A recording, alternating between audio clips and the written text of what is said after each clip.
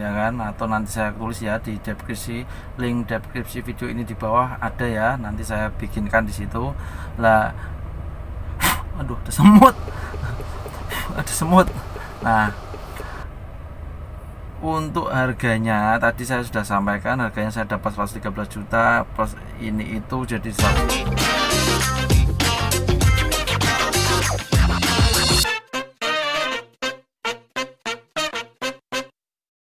Assalamualaikum warahmatullahi wabarakatuh. Halo pemirsa semuanya Ketemu lagi di channel saya Rumbeng Auto Channel seputar otomotif.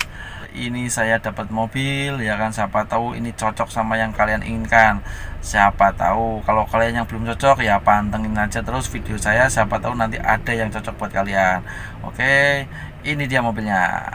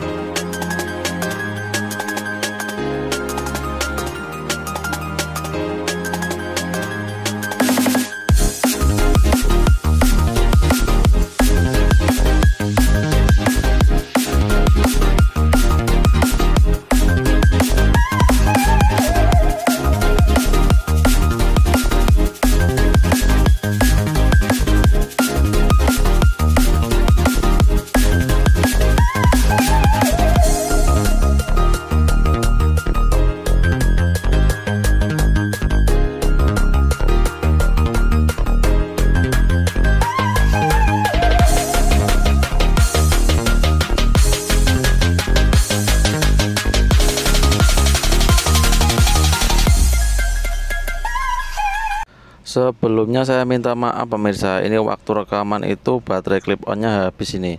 Jadi suaranya nggak terlalu terdengar Tapi suara motor, mobil, dan angin itu malah lebih kencang ini pemirsa. Daripada saya tampilkan nanti telinga kalian malah tambah sakit ya kan? Dengerin video saya, dengerin suara dari video saya. Mending ini saya dabbing aja pemirsa ya. Yang penting saya kasih informasi dikit-dikit ya biar menjadi gambaran kalian kalau saya dapat mobil kok murah itu mobilnya kondisinya seperti apa gitu ya. Langsung saja ini permisal kondisi mobilnya. Ini adalah Honda Brio 2018 tipenya e-CVT CVT itu tipe Maticnya Honda ya karena Honda Maticnya menggunakan Matic CVT makanya tipe yang Matic itu disebut CVT Mobil ini merupakan mobil generasi terbaru dari Honda Brio. Jadi ini adalah all new Brio ya yang sudah melakukan banyak perubahan ya kan. Yang berubah drastis ini mobil ini. Cuman ya itu sayangnya harganya juga ikut berubah drastis itu kan. Jadi ya terkesan mahal lah mobil ini tapi mobil ini masih termasuk dalam jajaran mobil LCGC ya low cost green car jadi mobil ini ya efisiensi bahan bakarnya ya terbilang irit ya. Kalau kelompok LCGC kan syaratnya memang harus irit efisiensi bahan bakar dan pajaknya pun murah mobil ini. Cuman ya untuk tipe ini ya tipe E ke bawah kalau tipe RS itu ya kayaknya sudah nggak termasuk LCGC cuman ya sama tetap aja sih ini LCGC tapi ya relatif mahal sih untuk ukuran LCGC Nah di pintu belakang bukannya sudah elektrik ya ada tombolnya sudah nggak seperti dulu hanya dari depan aja sisi pengemudi sama belakangnya pakai kunci. Ini sudah elektrik sudah enak dari belakang tinggal pencet aja. Dan ini perubahan drastis juga di ruang bagasinya ya ingin cukup luas ya kan? Ini perubahan juga seperti ini dan ini ada tiga headrest juga untuk sektor mesin mobil ini masih sama ya seperti Honda Brio sebelumnya yaitu 1200 cc mesinnya SOHC 4 silinder 16 katup iVTEC ya. Jadi untuk mesin ya masih tetap sama cuman tenaganya naik dikit lah 90 PS di 6000 rpm dan torsinya 110 Nm di 4800 rpm sudah mesinnya lama SHC pula ya. Single overhead cylinder kenapa enggak DHC ya? Ya itu ada positifnya juga karena kalau mesin lama kita lebih familiar juga perawatnya gampang terus SHC juga lebih irit daripada DHC ya kan? Klaimnya kan seperti itu. Terus ini menggunakan teknologi iVTEC dengan plus DBW ya drive by wire jadi kan tetap aja masih bertenaga dan konsumsi bahan bakar tetap irit mobil ini untuk pengecatannya ada yang melihat itu nggak rapi ya gelepotan itu antara pertemuan cat luar sama dalamnya ya. Cuman kalau kita lihat positifnya ya ini untuk membedakan ketika ada crash yang sudah direpair itu sangat kelihatan ini. Kalau bagi saya kita lihat positifnya aja karena mobil itu kan pasti ada plus minusnya gitu kan Jadi untuk kondisi mobil bekas murah ini ya ini tidak bekas tabrak dan tidak bekas banjir ya. Cuman tadi bodi depan emang eh, apa bodi bumper bumper depan itu sepetan ya.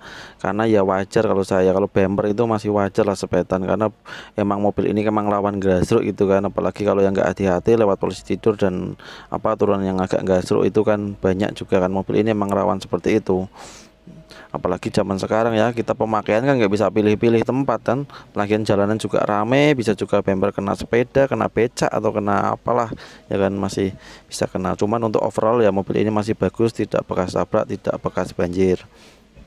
Nah Nah, perubahan selanjutnya ada di kabin belakang ya. Ini sangat luas untuk posisi depan itu sudah nyaman itu duduknya itu ini masih sisa banyak itu dan ini pun joknya sudah sampai ke pangkal lutut ini apa ke sikulnya lutut. Dulunya dulu itu nggak nyampe loh. Itu dulu joknya cuma separuh agak ke belakang lagi sedikit cuman depannya aja sudah sempit ini sudah enak ini sama atapnya juga sudah lumayan lah. Untuk dashboard depannya masih menggunakan plastik keras ya karena ini mobil LCGC ya mau berharap seperti apa lagi. Dan yang penting ini tampilan dashboardnya sudah good looking ya sudah kelihatan modern lah apa untuk kelas mobil kecil ini. Dan ini AC-nya sudah kelihatan digital ya kelihatan digital dengan head unit Pioneer ya dulunya kan CVC ini kuncinya seperti ini sudah indes seperti ini immobilizernya. Tapi yang cadangannya ya cuman kunci biasa aja nah ini yang penting MID juga sudah lumayan lah. Ada average-nya ada full consumption dan ya biasa trip A trip B ya. Cuman lumayan lah ini AC yang kelihatan digital seperti ini ini sebenarnya masih mekanikal cuman di elektrikalin ya kan. Dan ini apa? Ya fiturnya seperti ini aja hanya arah semburan ke kepala sama kaki aja ya. Masih kurang komplit nggak ada auto klimatnya juga. Ya sederhana aja sih sebenarnya cuman tampilannya sudah keren gitu aja AC-nya untuk dashboardnya sebenarnya masih sama ya seperti Honda Brio sebelumnya. Cuman ini ya kombinasinya lebih dominasi warna hitam ya. Kalau sebelumnya kan banyak base ya. Cuman untuk Honda Brio sebelumnya yang facelift ya bukan yang pre facelift ya.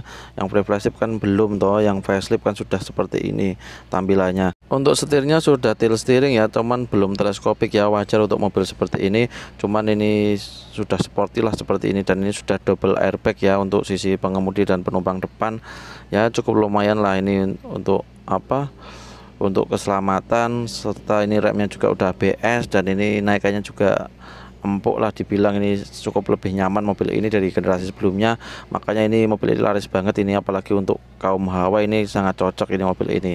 Untuk transmisinya yang semut juga punya cocok ini untuk cewek ini gampang mobil ini dioperasikan. Terus ini transmisi metiknya juga cuma maju mundur aja gampang dan ini ada mode spotnya langsung di bawah mode drive nya jadi langsung enak ketika terdesak mendahului tinggal tarik ke belakang saja.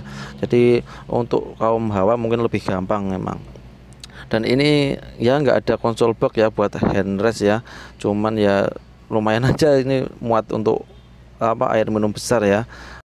Untuk headrest masih menyatu ya. Kalau yang tip varian RS itu ya sudah terpisah ya. Kalau ini masih menyatu headrestnya intinya mobil ini jadi lebih ideal ya karena menjadi banyak peningkatan ini di sisi pengendaliannya kenyamanannya ya kan tampilannya ya kan ruang kabinnya ya kan. Cuman ya itu peningkatan di harga itu yang kurang lebih kurang sesuai ya. Kenapa ya? Agak ter, tergolong mahal lah untuk sekelas LCGC ini kemarin saya masukkan ke Honda ya udah nggak masalah sudah dicek dan sudah general check up serta ya ganti oli-oli ya sama filter-filter biasa untuk harga mobil ini harga barunya kalian bisa cek sendiri ke dealer baru karena saya juga bingung itu. Dealer sejawa tengah kok harganya pricingnya beda-beda dan bedanya jauh lagi. Ada yang 174 juta ada yang 189 juta 300 untuk tipe ini ya. Honda All New Brio tipe E CVT ya. Harganya itu beda-beda saya juga nggak tahu itu. Karena channel saya mobil bekas ya paling enggak ini harga bekasnya ya. Kalau harga tawarnya sih rata-rata masih 140-an cuman nanti jadinya paling enggak 130-an lah kena 130 berapa jadi saya dapat harga segitu kan masih worth it ya kalau dilihat dari selisih harga pasarnya. Cuman ya tetap aja kalau kita ngambil mobil lelang itu pasti ada PR-nya ya kan? Ya makanya kita harus tahu toh ngitung-ngitung PR-nya gimana perbaikannya gimana gitu kan. Nah, cuman kalau menurut saya sih saya puas seperti itu karena apa kalau saya perbaiki sendiri itu kan saya bisa kasih tuh part-part yang asli atau yang ya yang perbaikin serius lah. Kalau kita beli yang sudah jadi gitu kan kita nggak tahu toh sebelumnya orang itu diperbaiki pakai part yang apa gitu kan. Ya ya semua ada plus minus lah. Itu tergantung kalian sendiri. Cuman menurut saya seperti itu lebih lebih lebih nyaman lebih puas gitu. Lah untuk perbaikannya ya kurang lebih saya sekitar habis di mobil ini itu 8 juta ya. Untuk PR-PR yang lainnya termasuk surat-surat itu pajak dan lain sebagainya. Itu kan sudah full semuanya 8 juta Ya terima kasih yang sudah menonton. Semoga video ini bermanfaat ya. Bisa menjadi pandangan atau referensi bagi kalian yang sedang mencari mobil. Untuk kalian yang belum ketemu dengan mobil yang kalian inginkan Silahkan subscribe channel saya. Siapa tahu besok saya akan ketemu dengan mobil yang kalian inginkan. Terima kasih sebelumnya. Assalamualaikum warahmatullahi wabarakatuh